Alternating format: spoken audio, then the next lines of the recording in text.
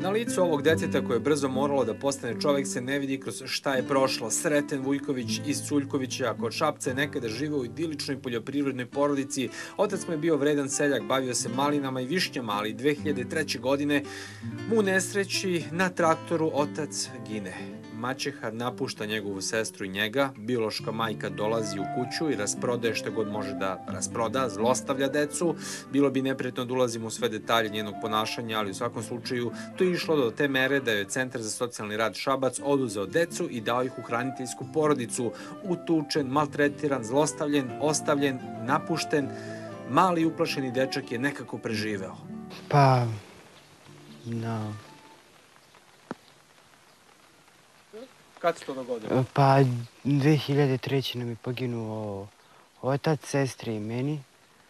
E, posle toga e, je došla majka, naša prava majka. E, sa njom smo živjeli od 2003. do 2007. E, posle toga u 2007. smo do, e, dospeli u hraniteljsku porodicu. Koliko je to bio šok za vas? Koliko vam je to promenilo život? Kad posmatite period dok je vaš otac bio živ i period posle, koliko se su, su se stvari izmenile na gore po vas? Pa... Da li se sećate dok vam je otac bio živ? Da. Kako je to izgledalo? Kako pa... je imali smo sve. Od svega do ničega i razvaljene kuće gde je došao, pošto je napunio 18 godina, sa završenim keramičarskim zenatom. Od koliko toliko skladne porodice na ivicu opstanka. Sreten nije mogao da govori o svom ocu kada smo ga pitali, nije mogao dalje da nastavi intervju, da se ne bi rasplakao, ali otac je jedini koji je štitio njega i sestru. Kad je on umro, njegova deca su se našla na vetrometini, napuštena i zlostavljena. Centar za socijalni rad Šabac je koliko toliko preuzeo brigu, koliko je mogao, a uz njih našla se i Ruža Popović iz centra Humano srce.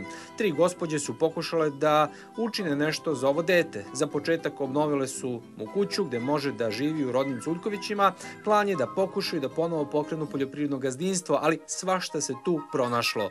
Verovali ili ne, ima takvih ljudi koji su od siročića krali. Njihovu zemlju su skoro prisvojili rođaci i komšije, dok su deca bila kod hranitelja.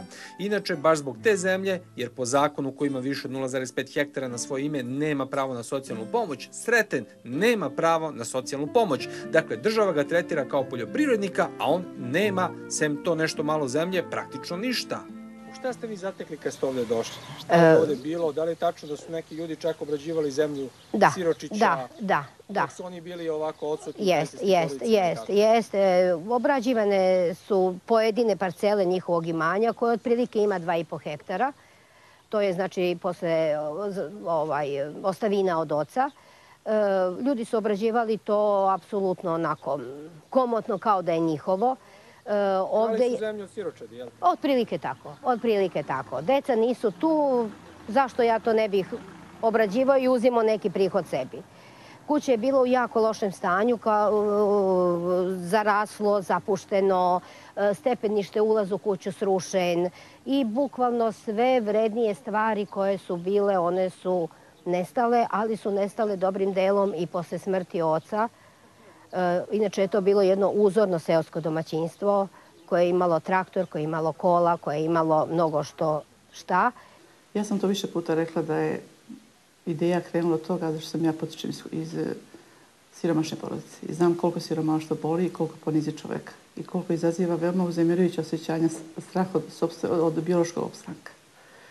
I upravo zahvaljujući srećnim okolnostima, posle završenog radnog veka ja sam se opredela da pomažemo na kojima pomoć potrebna. I mi postojimo na našem prostoru već pet godina i brinemo o deci, o starima, nemoćima i svima onima koji se nađu u momentu materijalne potrebe ne mogu sam da reše. Srete nema pravo na socijalnu pomoć jer ima toliko zemlje koliko ima i ne ispunjava uslove da bi ostvario bilo kakav vid ovaj, socijalne pomoći. Znači on praktično nema od čega da živi kad ostane bez... Da, da. On uh, bukvalno nema od čega da živi i zato su upravo ovi naši napori uh, da, da mu na neki način obezbedimo egzistenciju u narednom periodu i da ga ojačamo podučimo, uključimo i uradimo sve što je u našoj moći da, da bi dete moglo da vodi samostalan život.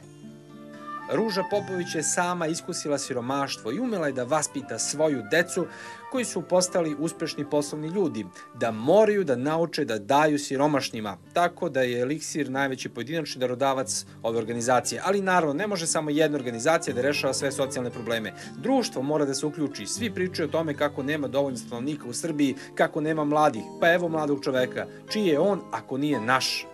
Jeste, mi stalno pričamo i stalno se to apeluje na natalitet i tako dalje, međutim mislim da se nedovoljno razmišlja o tome i nedovoljno je briga o deci, tako da mislim da bi trebalo tom planu mnogo toga uraditi.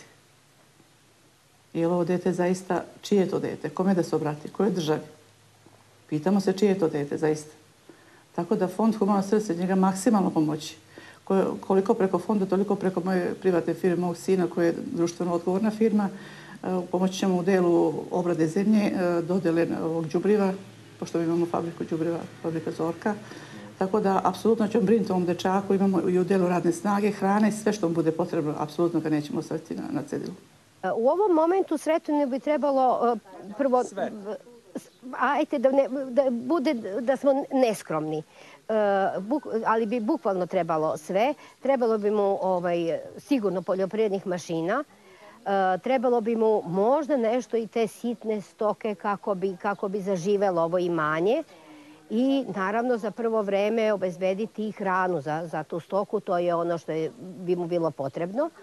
Ovaj, takođe bi mu trebala i pomoć nekog iskusnog, dobrog i voljnog čoveka da ga osposobi, pa možda i za neko povrtarstvo, mislim, jer ovo je parcela koja je pogodna za bavljenje tog tim. On ovde u kućnom placu ima negde blizu hektar zemljišta, tako da je to jako zgodno. Da li će Sreten uspeti da pokrene ili makar preživi na gazdinstvu, postane čovek, poljoprivrednik, zastoje svoju porodicu, ostaje nam da se nadamo, ali i da pomognemo. Fond B92 i festival Made in Belgrade pozivaju vas da u subotu i nedelju donesete paket pelena između 12 i 18 časova i uđete besplatno na festival. Kukuruz mi je pomogao da napravim mnoge stvari u životu.